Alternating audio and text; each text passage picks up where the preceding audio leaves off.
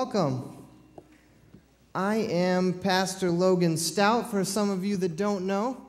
I've been here about three months now, so you guys are a little confused as to who the man speaking in front of you today is. I actually do work here. Um, I'm a young guy. This is my first pastoral job. So I get a lot of times from students, they ask me, Are you a real pastor? And I usually chuckle and I, I don't know the answer to that question, so I usually question them back with, What do you define as a real pastor?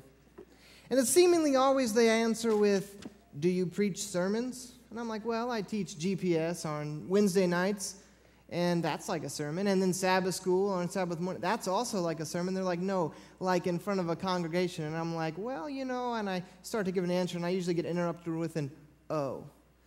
So I'm inviting you all to my coming out party as a pastor. This is official. I guess now is the day that I become, I can wear my name tag or whatever it is. But as I invited you, I would also like to invite our Heavenly Father. Please pray with me.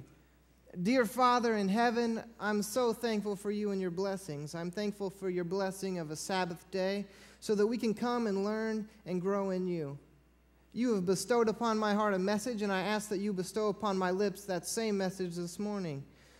Father, we love you and we cherish you. Be with me and my nerves. In your name, amen. So, like I said, this is my first real job. I've had a lot of jobs over the years. Go through a few pictures here. I owned a company when I was 16. It was called Logan's Lawn Care. I mowed grass for mainly old ladies. Actually, that's I'm not 16 there. That's like three months ago. Yeah. But I, I didn't have one, so I, I put this one up. That, that was not a real job. Later in my life, I worked about, I don't know, when I was 18, I worked at a place I made donuts and pizza this very nice little gas station in uh, Sturgeon, Missouri.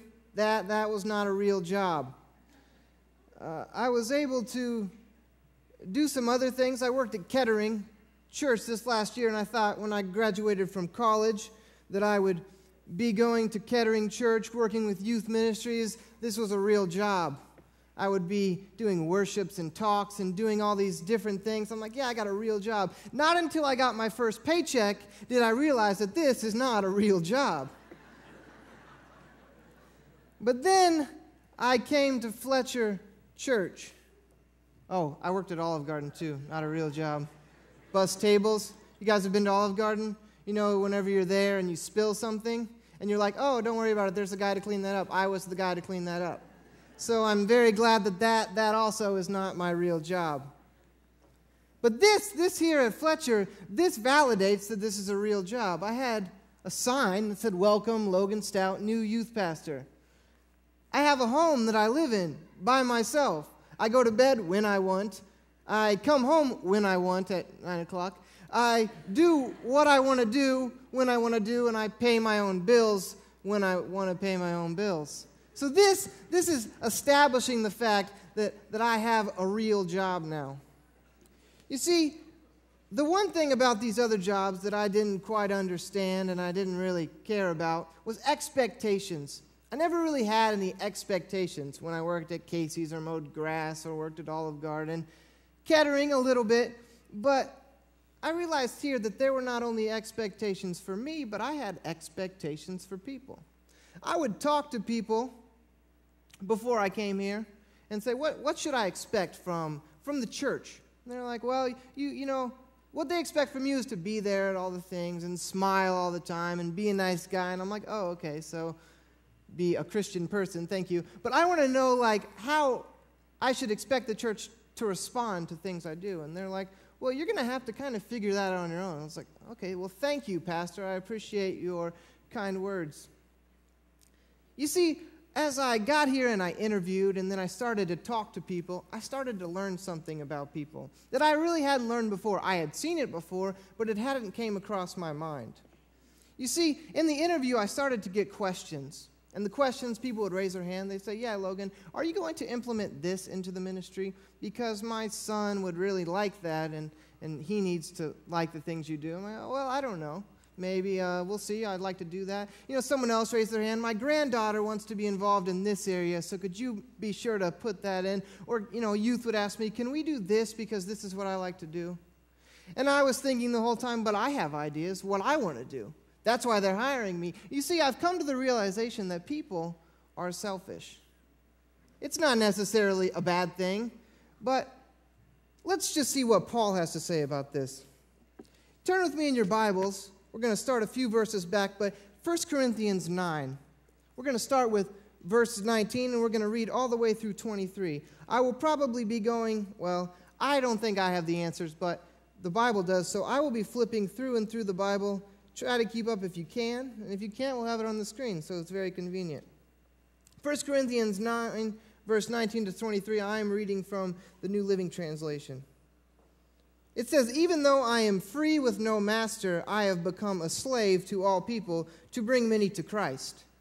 When I was with the Jews, I lived like a Jew to bring the Jews to Christ. When I was with those who follow the Jewish law, I too lived under that law. Even though I am not subject to the law, I did this so I could bring to Christ those who are under the law. When I am with the Gentiles who do not follow the Jewish law, I too live apart from that law so I can bring them to Christ, those who are under the law. When I am with those who are weak, I share their weakness, for I want to bring the weak to Christ. Yes, I try to find common ground with everyone, doing everything I can to save some. I do everything to spread the good news and share in its blessings. Let's start back with verse 19. Paul says here, Even though I am a free man with no master, I have become a slave to all people to bring many to Christ. Paul here is stating that he is a, a free man, he has no master. Yet he's also stating that he is a slave. Now, I'm not the smartest man alive, but I do know that usually a slave has a master. And in order to be, it's just confusing. So Paul says he's not actually talking about a heavenly father, he's not talking about his heavenly master here. Paul lived so much of his life working as a slave for money he worked as a slave to persecute Christians. It said that Paul once killed Christians and now he is living to save them. Paul is now a lay preacher, writing messages to churches, working solely for the Lord to lead people eternally to Jesus. Martin Luther once said, A Christian man is the most free Lord of all and subject to none. A Christian man is a ministering service and servant in all things and subject to everyone. So Paul and Martin Luther were on a same level here. When Paul was made a slave on his own accord, it was voluntary. He got rid of the chains of sin and, and entered into the chains of the kingdom of heaven. Paul says in 1 Corinthians 7, if you can turn with me there, if not, you can look up. Verse 20 to 24. It talks a little about this uh, same enslavement. He says, because this is in the same letter, a couple chapters before. That's one thing I really enjoy about Paul's messages is that you can turn back in your Bible and you can understand what's happening. It says, "Yes, each of you should remain as you were when God called you. Are you a slave? Don't let it worry you. But if you get a chance to be free, take it. And remember, if you were a slave when the Lord called you, you are free in the Lord. And if you were free when the Lord called you, you are now a slave to Christ. It, God paid a high price for you, so don't be enslaved by the world. Each of you, dear brothers and sisters, should remain as you were when God first called you. Paul was a lucky man. He was able to give up his life to the calling of God. But he is telling us not to worry about it. If our lives seem terrible like that of a slave, you are free in Jesus Christ which is the one thing that a slave longs for. He longs for freedom. He thinks that if he's free, he's happy. But Paul's saying here that no, just because you're free, that doesn't guarantee happiness. Happiness only comes through your heavenly Father. So if you remain a slave, but you're still in Christ Jesus, happiness will come because you're enslaving yourself to other people, not to your masters. If your life is holding you back from happiness, then give your life to God, and He will show you true happiness. Paul says here, even though I am a free man with no master, I have become a slave to all people. It says the Corinthians were pagan Stoics. And they believed that, if I can get this properly, Pagans believed that when you worshiped a pagan god and you submitted your life to them, you were risen up. You were better than other people because of this. Paul is kind of maybe poking at them a little bit, maybe confusing them a little bit, philosoph- philosophize. I don't know what that word is. Um, anyways, he's, he's trying to make a point here.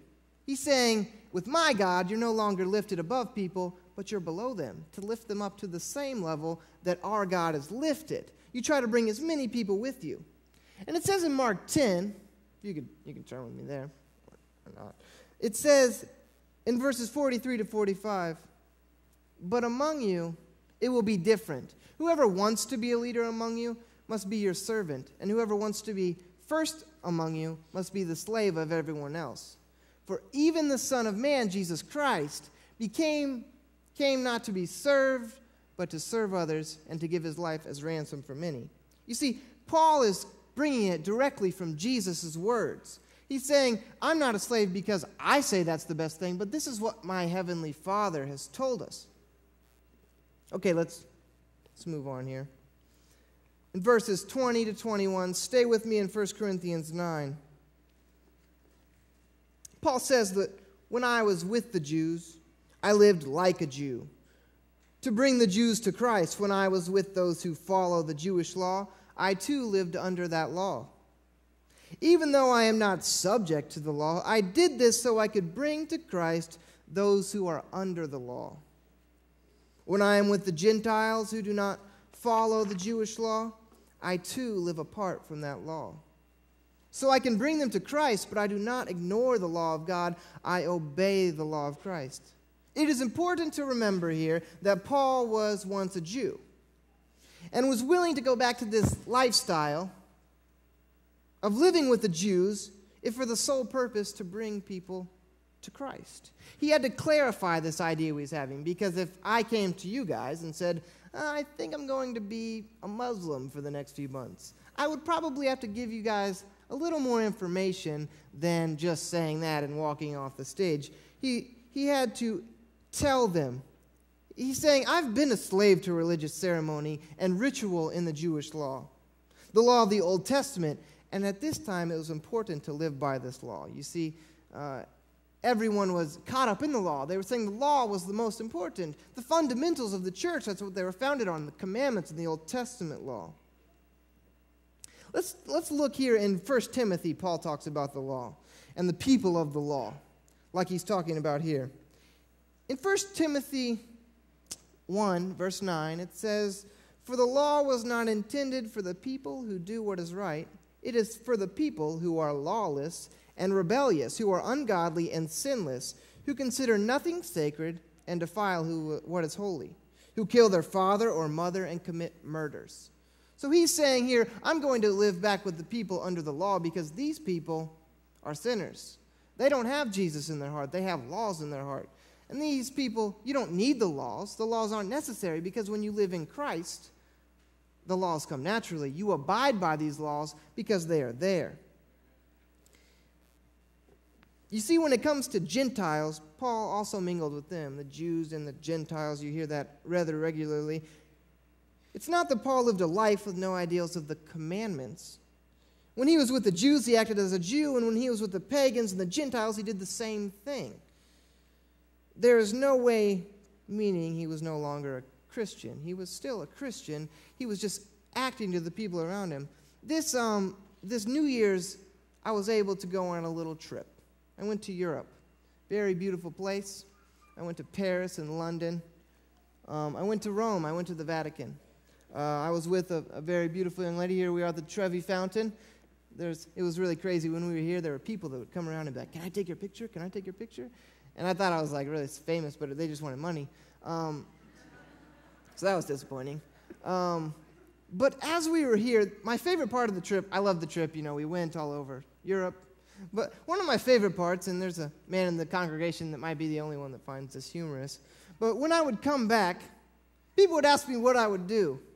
Or even before I left, what are you going to do, Logan? I'm like, well, what do you mean? They're like, well, when you're in Paris, what are you going to do? I'm like, well, I'm going to go to the Eiffel Tower.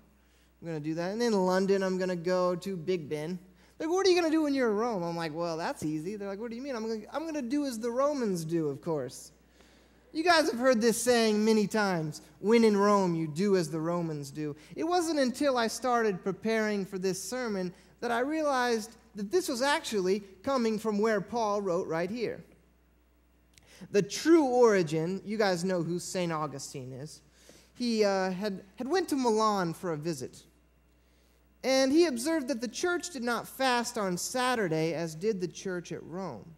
He consulted St. Ambrose. He was the bishop of Milan at the time. This is like 487 or something, maybe three. Yeah.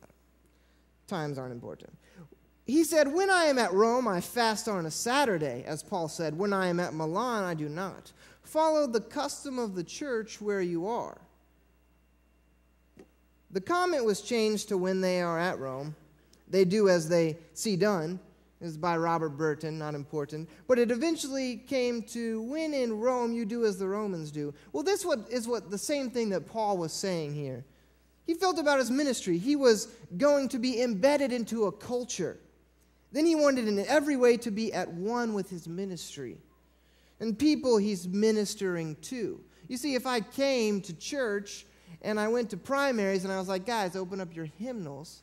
We're going to sing some hymns with the organ upstairs. They're going to be like, no, we're not. We're going to sing Jesus Loves Me because that's what I want to sing. And, and, and so often we find ourselves absorbing cultures until we get a little older. And then all of a sudden, these cultures are done away with. We have to just live by this law of, yeah, we can stay on the music of hymns. We say, well, you're 18 now. You should just listen to these hymnals and listen to this classical music. Well, well, maybe as adults, myself and you all, we should, we should say, wait, if, you know, the youth, you guys are interested in a different kind of music, but still praising God, let's look at that for a little bit. Let's, let's join in together. And as youth, we can say, wait, there's got to be something good with hymns. These things have made it through hundreds of years. We have to absorb ourselves into cultures, cultures in our church, cultures in our age groups. We have to be at one with each other. We have to understand each other. You have to realize if you're on someone else's turf, then you have to play by their rules. That doesn't mean you have to give up what you believe in, but you have to understand where they're coming from so that you can raise them up to the Heavenly Father. It says in 1 Corinthians 9 21, but I do not ignore the law of Christ, or of God, I'm sorry, the law of God, but I obey the law of Christ. What's the difference? You hear God the Father, you hear God the Son, God the Holy Spirit. How is the law of God different from the law of Christ? You see, in Mark 12, Jesus was asked by a religious teacher of the law. They said, Which commandment was the most important? Jesus answered in verse 29 The most important commandment is this Listen, O Israel, the Lord our God is the one and only Lord. And you must love the Lord your God with all your heart. So, everyone you love, you should love like, like the Lord did. With all your soul, everything you think, all your mind, everything that comes into your mind, it should be of godly and all your strength. Everything you do physically should be of God. But then he continues the second is equally important love your neighbor as yourself. I think about this as I was interviewing and being asked questions about my ministry, how I didn't do it, and how our church doesn't do it. We say, hey, Logan, you should do this because of my son. Why don't you say, hey, Logan, my son's in church, but his friend, he likes to do these things. Why don't you bring this into our ministry so we can bring our neighbors to church? I don't know my neighbors. I just moved in three months ago. I know John. He lives next to me, works at Nationwide. He has three kids. They come twice a month. Nice guy. But other than that, I don't really know anyone. Why aren't I asking John to come to church?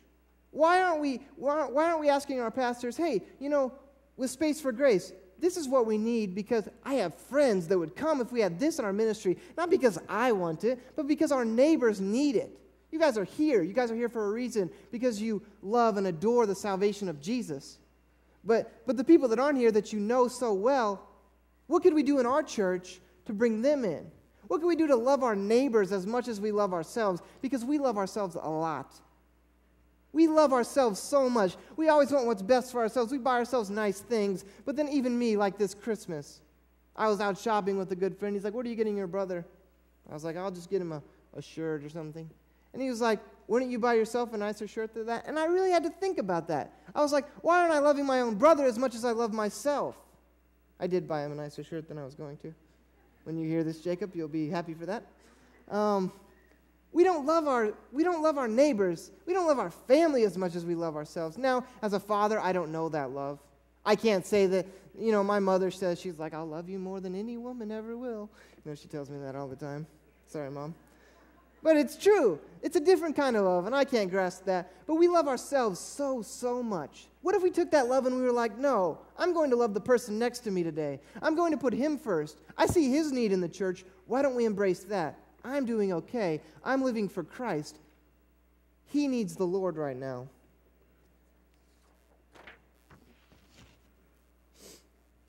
We're going to go on in 1 Corinthians 9 again. Verses 22 and 23 we'll start. It says, When I am with those who are weak, I share their weakness, for I want to bring the weak to Christ. Yes, I try to find common ground with everyone, doing everything I can to save some. I do everything I can to share the good news and spread its blessings.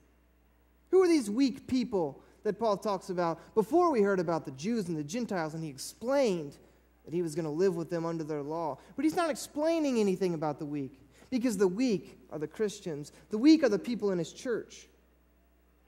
Paul had already talked about the weak a chapter before. Let's look at this in chapter 8. We can flip back a page or two. This is a big one.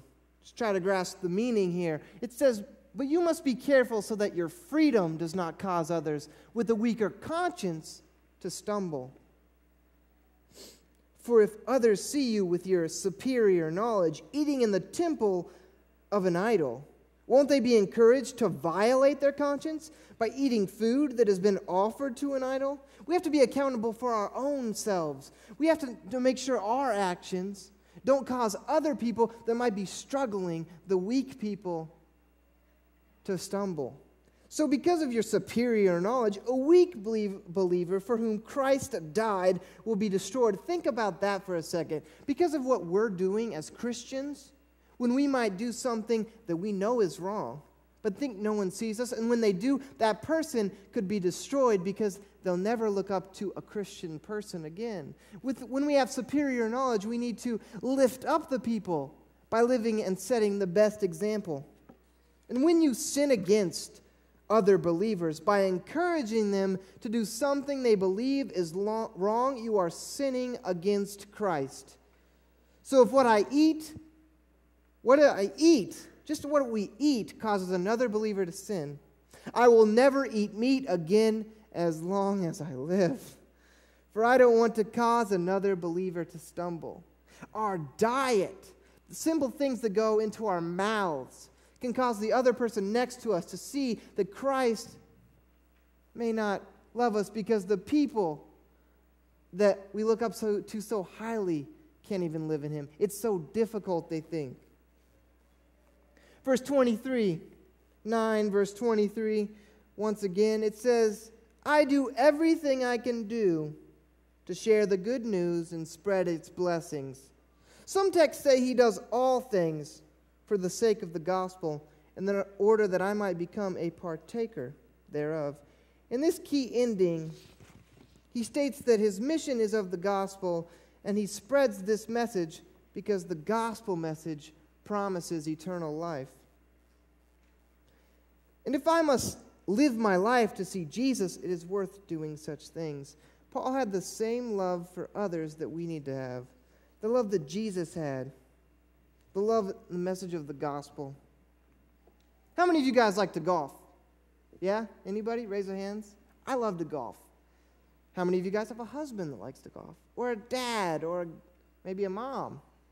Golf is for everyone. I, it's my favorite sport. Well, to play. Anyways, I love golf. You see, golf is a, um, how, how can I put this? Golf is it's, it's important when you play golf, to play golf with people that you get along with. My favorite person to golf with is my father. Me and my dad often this summer would go out, just the two of us, and spend, you know, the three, four hours golfing together, having a good time. We complimented each other very well. He knew what not to do to make me irritated, and I knew exactly what to do to make him irritated. So it worked out perfect. Dad and I had a great time. Anytime you put someone else into the mix of our golf, it, it didn't seem to go as smooth. And that's not anything against anyone that golfed with us, like my brother, or uh, that was it. But um, I love golfing with my dad. I love golfing with my brother too, but we're really competitive, so it's like, I'm going to beat him, and I was winning. It's just sad for him. But, um, anyways, I love golfing with my dad. About a month ago, I got an email from my father. It was entitled 18 Most Annoying People to Golf With. And I said, now this is going to be interesting because 18 is a lot. That means it was basically trying to cover everything that anyone could ever do that's annoying on a golf course. But I went ahead and took a few of these guys and talked about it. You see, when you golf, you guys know the concept. You hit a ball from the tee to the hole, and you count how many times it takes to get there. It takes a long time to play a game of golf.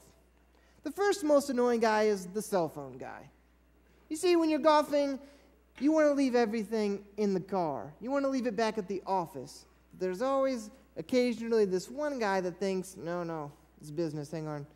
And you see, with golf, if you guys haven't played much, you always have to wait for the person, the last person in the group, so you don't, you know, you don't get hit in the head.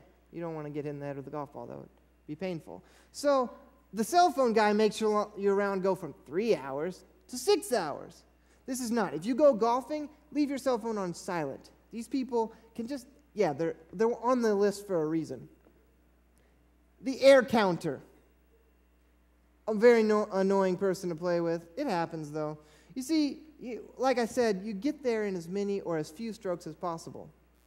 You see, there's this always this guy that goes and he hacks and hacks and hacks. And at the end of the hole, he turns around and he starts counting his strokes that he hit and how many times it took him. And then he comes up with a very incredibly low number. He's like, it's a par four, you know, four strokes to get in the hole. He's like, oh, yeah, I got a five. This dude got like an 11. Like, like, yeah, you're turning around counting because it's a high number, not because you did really good. The last guy I'm going to talk about here, the ball retriever guy. If you ever see a bag sitting in the middle of a fairway but no one around it, that's because Jim Bunch is off in the water with his ball retriever. You'll know this guy if, you're, if you don't golf and you walk into his house or into his garage and you see a bucket of dirty, dirty golf balls. And you're like, oh, he must love to golf. No, he doesn't actually love to golf at all. He loves to look for golf balls. He wastes $30 to go out and search for golf balls instead of paying $5 for a sleeve.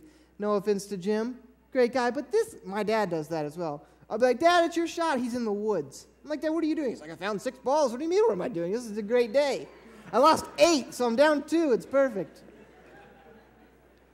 Very annoying, no offense, to play with this guy. So I called my dad and we talked about this for a while. I'm like, Dad, that, that was funny. That was great. You know, the, you know, all these different guys. I was like, what was your most annoying? I was like, well, what was yours? And, and we both agreed immediately that the most annoying person to golf with was the swing instructor. You never ask this guy for advice, and he's always the one telling you what you're doing wrong. He's by no means a pro, and even if he is, golf is supposed to be fun. If I wanted to spend money on lessons, I would have. He tells you all these things that confuse you. If you don't play golf, know that golf is a very mental game.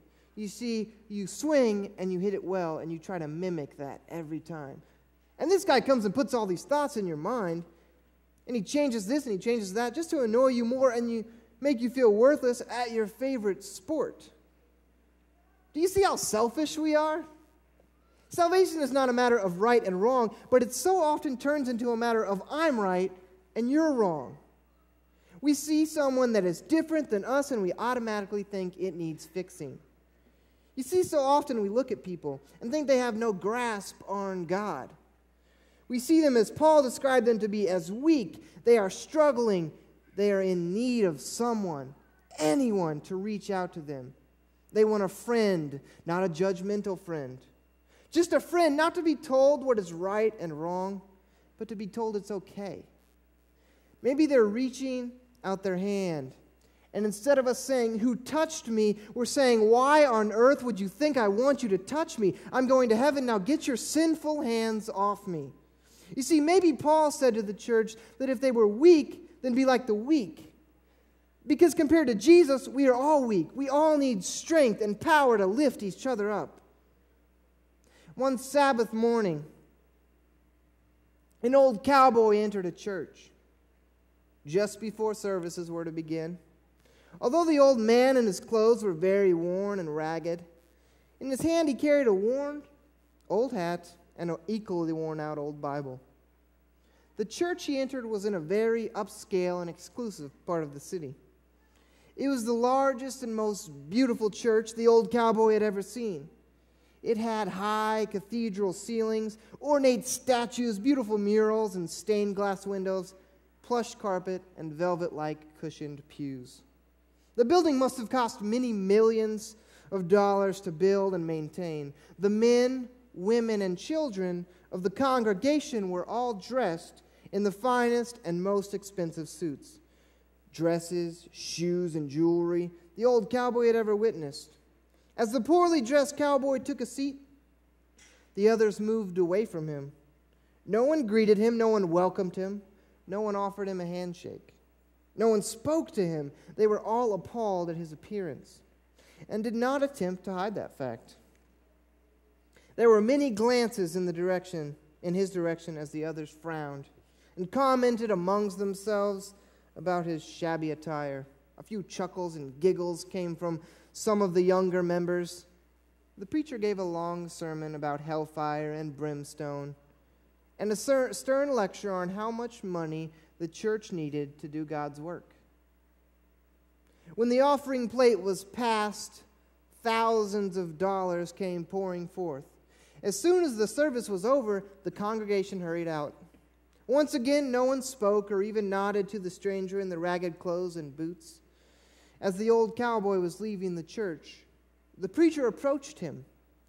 Instead of welcoming him, the preacher asked the cowboy to do him a favor. Before you come back in here again, have a talk with God and ask Him what He thinks would be the appropriate attire for worshiping in this church.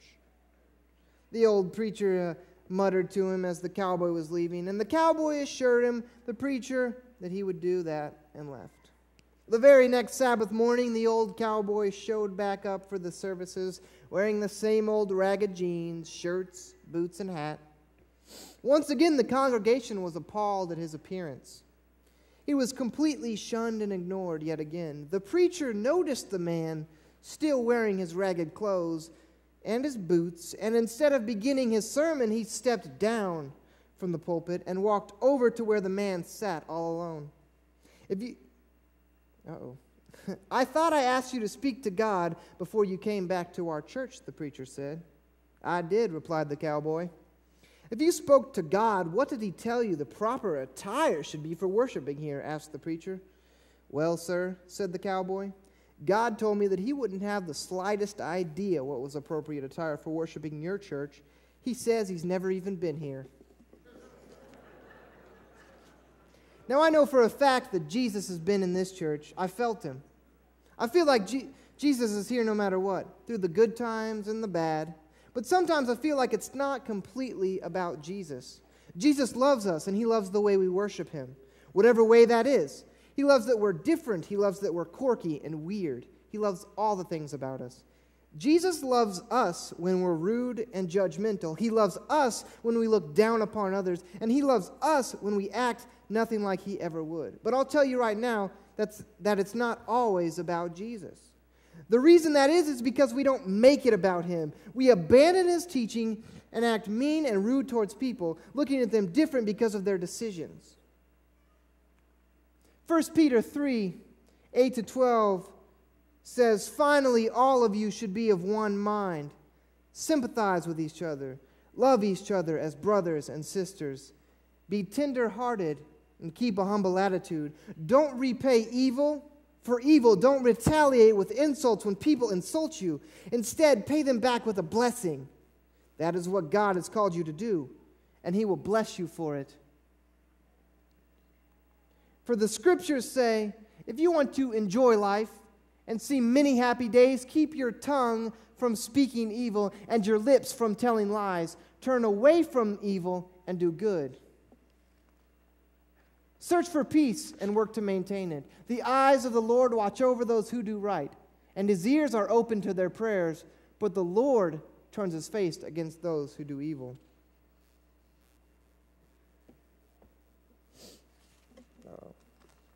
You see, sometimes it's important to gain the approval of man more than the approval of God because God loves us.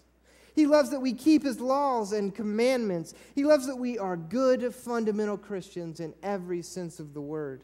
We believe in the doctrine found in his holy Bible and we teach it to those around us. But sometimes those things overshadow the work we should really be doing. Sometimes the law of God overshadows the law of Christ, of loving your neighbor. As humans of a sinful nature, it is very easy to be turned off by that. It's very easy to see a person with all the answers instead of a loving heart. Sometimes we should put the fundamental beliefs aside and focus on the fundamental beliefs of Christ, the love Christ had for all of us.